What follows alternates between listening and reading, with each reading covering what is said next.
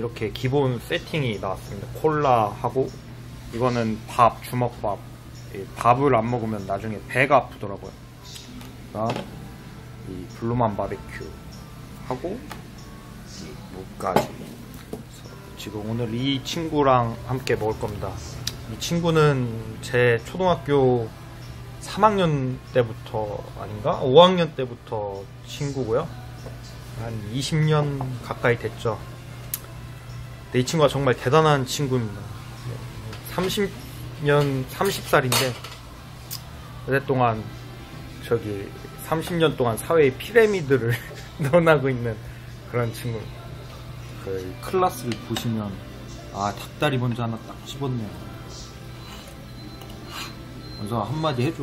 이게 얼마나 맛있는지, 우리가 몇 예. 년째 다니고 있는 건지, 이 집에. 닭다리가 그 맛있더라고. 굉장히 맛있는 집입니다. 여기 보시면 메뉴판은 이렇게 되어 있습니다. 한식, 양식, 중간맛, 소금구이. 나머지 뭐 피레미들은 제 전, 피레미 전문인 친구에게 물어보겠습니다. 그 주 바베큐 말고 나머지 피레미 사이드 메뉴는 어떻게 생각하시는지. 음, 맛있네. 맛있어요, 나머지들. 얼마 한 제가 한번 직접 뜯는 걸 보여드릴게요. 아, 술이 나오면 안 돼요. 술 좀 치워주시고요. 아예 치우지 말고 치울 때도. 예, 여러분 이게 닭다리입니다. 아, 찍기가 이게 찍기가 힘드네. 닭다리. 친구가 먹는 거 한번 찍어보겠습니다. 그래서 날 찍어줘 이제.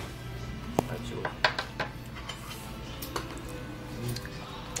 닭다리가 항상 여길 보면 이쪽 살이 없어요. 이거 찍어주세요. 이쪽 살이 없어요. 이렇게 나옵니다. 나와서 이렇게 먹는 거죠. 이거를 왜 웃냐? 이게 음, 숯불 바베큐. 중국어로 하면 숯불이 탄우호 바베큐가 이제 가오로 이러거든요. 탄우호 가오로 되겠습니다. 주세요.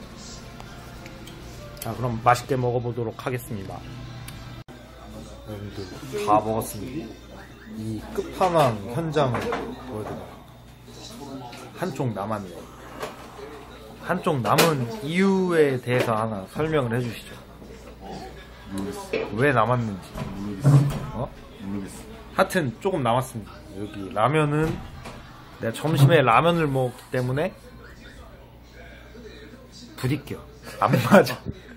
점심에 라면을 먹어서 또 먹으면 내가 배가 아플 것 같아요. 라면은 손도 안 댔습니다. 저는. 하고 오늘 게임 끝났습니다. 이렇게 게임 끝나고 나가는 거죠.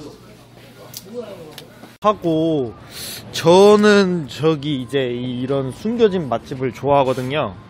네, 저 앞에 그 손님들이 계셔가지고 제가 지금 간판을 못 찍고 있는데 뭐 이 친구 찍을게요. 이 친구 찍고 어, 가셨다. 손님들 들어가니까 제가 간판을 찍어 드릴게요. 저는 이런 그 동네에 소소한 실력 있는 집들을 좋아합니다.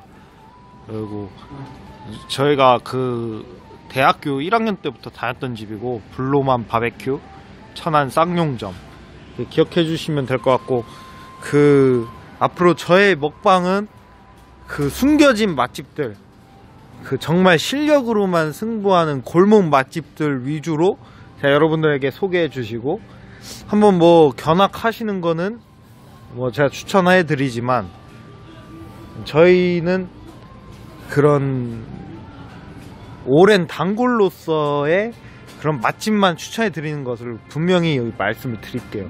이분이 알아요. 이분이 그동안 꽤 오래 진짜 정말 미식가시기 때문에 돈은 못 벌지만 그런 싸구려 음식 먹지 않는다. 그 개념이 계신 분이에요. 오늘 이 음식점에 대해서 평점을 주신다면 10점 만점 몇 점입니까? 어, 6점. 6점? 아, 이렇게 많이 먹어놓고 6점. 그러면 10점 만점에 10점짜리 음식점은 어디예요? 저희가 같이 해본 곳 중에 있나요? 모르겠습니다. 모르겠어? 아유, 술 취해서 하면 안 돼. 이렇게 하면. 진짜 말씀을 해주세요. 10점 만점에 10점짜리 음식점이 있다, 없다. 우리가 같이 해본 곳 중에. 모르겠다. 있다, 없다. 잘 모르겠습니다. 아 일단 알겠습니다. 오늘은 여기까지만 할게요. 하고 넌 편집 당했어 임마 너.